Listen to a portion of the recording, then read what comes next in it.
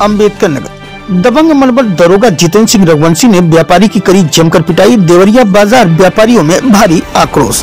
अंबेडकर नगर ज़िले थाना राजे सुल्तानपुर अंतर्गत देवरिया बाज़ार निवासी रमेश निषाद पुत्र नंदाल निषाद देवरिया बाज़ार में मकान बनवाने के लिए आम का पेड़ खरीद कर कटवा रहा था। इस दौरान थाना राजे सुल्तानपुर के उप निरीक्षक जितेंद्र सिंह रघुवंशी मौके पर पहुँच गए और रमेश निषाद से सत्ताईस हज़ार रूपए ले लिया और उसकी लकड़ी को भी सीज कर दिया।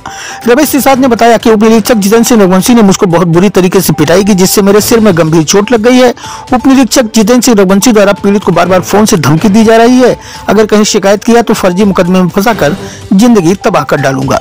घटना के समय रवि मदेसिया और रिंकू पुत्र सभाजीत विनोद सहित अज्ञात लोगों को भद्दी भद्दी गालियाँ देकर और मारकर भगा दिया गया। उप निरीक्षक जितेंद्र सिंह रघुवंशी की दबंगई इतनी बढ़ गई कि लोगों का जीना दुश्वार हो गया है।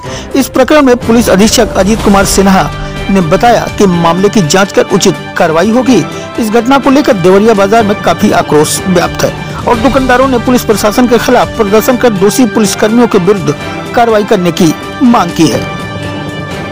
मामला यही है कि इनको जो है पेड़ ओड़ कटवा रहे थे। जितेंद्र सिंह जो एस आई हैं। वो इनको मारे पीटे भी हैं।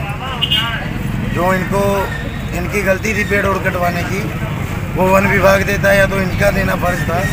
कोई धारा जो लगनी थी वो लगा दिए होते। इनको मारे भी हैं, सत्ताईस हज़ार रुपये भी ले लिए हैं, माल भी जब्त कर लिए हैं। और ऐसी ऐसी मारे हैं कि सर पे इनके चोटें इतनी आई हैं कि सर पूरा एकदम कभी चक्कर खा के गिर जाता है, कभी इसको होश ही नहीं रहता कोई, कभी चलता फिरता है मतलब दिमाग काम नहीं कर रहा है तो बहुत परेशानी है, घर पे पाँच पाँच छः छः बच्चे, ये अपने भाई के भी संभालता है। घर में बहुत दिक्कत परेशानी है। ऐसे प्रशासन करेगा तो किस तरह से जो है बाज़ार चलेगा। अच्छी बात नहीं। क्या बाज़ार में भी सबको परेशान करते हैं? हाँ बाज़ार में सुना तो गया है। क्या सुने?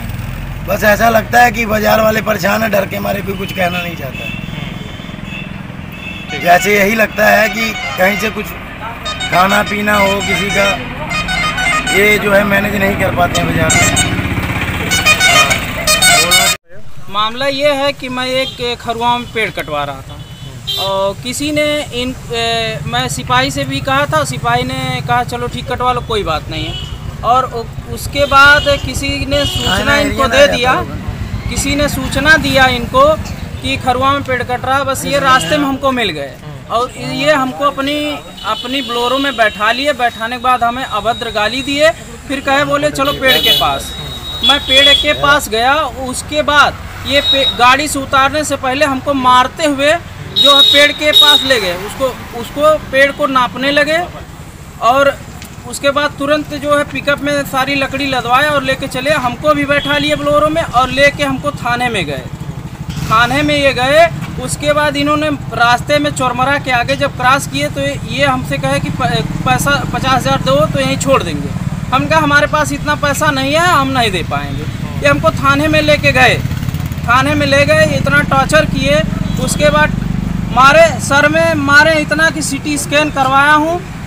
सिटी स्कैन में सारी चोट निकली हुई है और 10 बजे तक, जब तक मैं पैसा इनको नहीं दे दिया यशो साहब को, जितेंद्र सिंह एसआई साहब को मैं पैसा नहीं दिया तब तक, संतोष संतोष सिपाही पैसा लिए और राम अवतार भी साथ में थे। जब मैं सत्ताईस हज़ार रुपया इनको दे दिया, तब ये हमको साढ़े नौ दस बजे दस बजे हमको छोड़े। यही हमारा मामला है। बाज़ार का दिन था मेरा लड़का किसी सिपाही को पैसा देने के लिए कहा था पेड़ काटने के लिए। इसके बाद वो जितेंद्र रघुवंशी जो है एसआई हमारे लड़कियों को बहुत मारे हैं। इस पर न्याय कीजिए आप लोग। बस यही हमारी इसका प्रार्थना पत्र आप कहीं पे दिए ही नहीं। हाँ? प्रार्थना पत्र कहीं दिए ही नहीं आप। SP office. एस